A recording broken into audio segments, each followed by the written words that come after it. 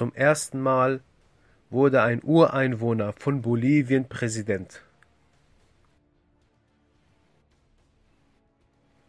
Evo Morales als erster Präsident von den Ureinwohnern ist gleichzeitig auch der einzige in ganz Amerika.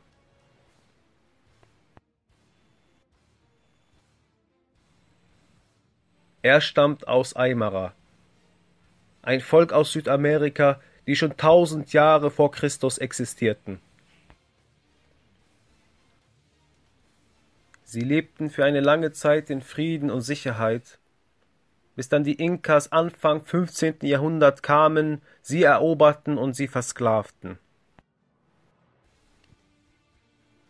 Und als wäre das nicht schlimm genug, kamen die Spanier noch obendrauf, sie entdeckten Bolivien Anfang 16. Jahrhundert kolonisierten das Land und versklavten die Inkas, sowohl auch die Aymara.